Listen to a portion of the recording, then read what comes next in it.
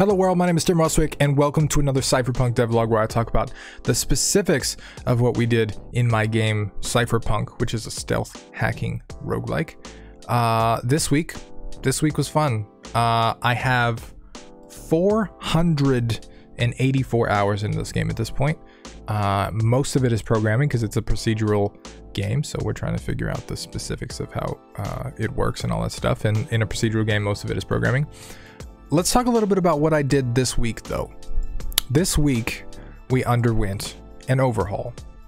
I overhauled the UI. I've been talking a lot about how the inventory system was a little weird. Well, there really wasn't an inventory system, but there was a macro system and, and the abilities and stuff. So this week, what I spent a whole bunch of time on was a database in the middle there that you can pull up, and all of your stuff goes into the database. So uh, this was the result of a series of things that I have been trying to work on. I've been trying to simplify the game.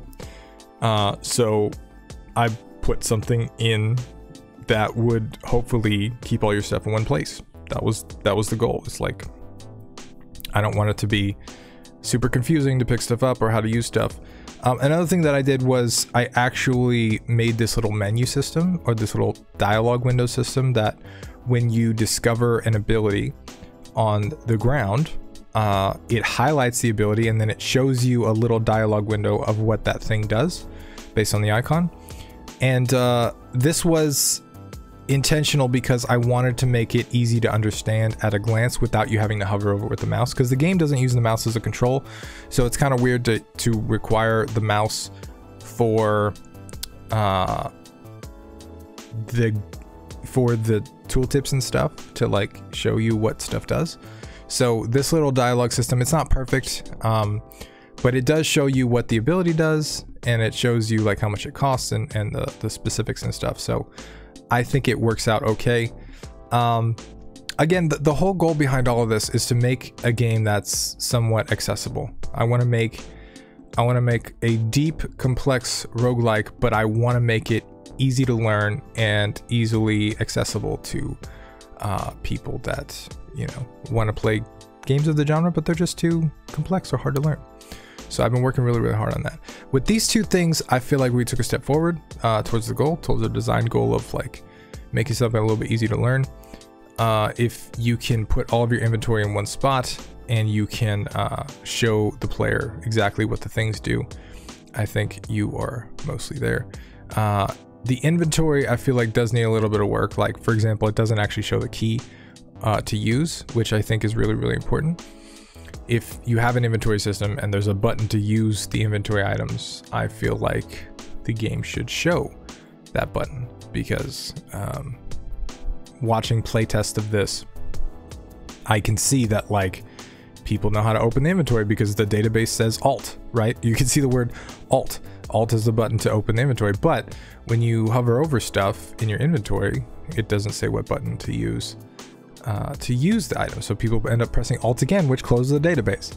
So little things like that that you miss in design and development, you can pick up in kind of the feedback stage. Um, another core change that we made to the game was that you can siphon chips now. And the reason is that people were just breaking a bunch of chips and they were uh, siphoning the resources. So I was like, all right, what if you can just siphon the chips directly? And another thing that I don't know if you noticed is we completely stripped the macro system. So the only way to play this game now is using the movement and the uh, the abilities.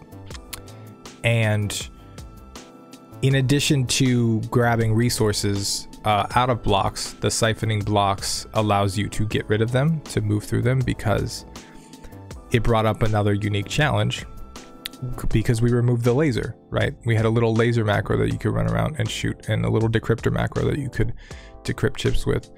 Uh, but removing those things that break the blocks for you, you with procedural generation, you end up in scenarios where the blocks uh, block the path, just like that. And you can never have like that turns a somewhat stupid bug into a game breaking bug if you can't get through them. So siphoning um, will allow you to kind of get through some of the blocks or some of the areas. This isn't perfect. I'm not happy with it. Um, I'm sort of taking baby steps toward uh, toward my ultimate goal, which is accessibility and and understandability. And there's still plenty of problems with the game, but I think uh, we are closer to our goal than we've been. Uh, we're getting there. We're slowly learning these things. And again, I say we, but really I just mean me and Twitch chat, which by the way, if you want to watch this game uh, being developed live, I stream live on Twitch Thursdays and Fridays, 3 p.m. Eastern, twitch.tv slash Tim Ruswick. You can check out the link down below and come hang out with me live uh, for the live stream. And uh, you can see the progress the game has made. But it overall, I, I'm I'm happy where we're headed. I think the database is a good step. I'm a little concerned about eliminating the directional control that came with macros because there was like directional control with the laser and stuff. And so now all the abilities are kind of limited to um, like horizontal or vertical, I guess. Which I'm not happy with. But, you know, every time you have a design solution to something, you end up with a challenge for something else.